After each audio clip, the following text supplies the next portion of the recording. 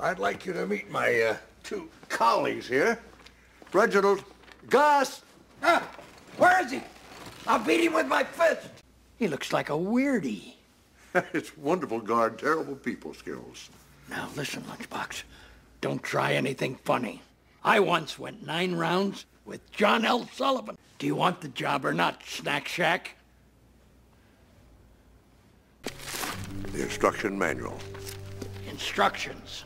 You start with one, two, three. Four. Are you cracking wise? I ought to punch you in the nose, hopscotch. Do you have any idea what I've been through tonight? What? I said, do you have any idea what I've been through tonight, Gus? Keep a lid on her butterscotch. Look, you want to dance, hot dog? You want to dance? Gus, you're an old man. I don't want to hurt you. Ooh! Oh! Sweet dreams, Cupcake! No! Pile driver! Oh. Come on, let's get our tablet. Sleep tight, hot shot.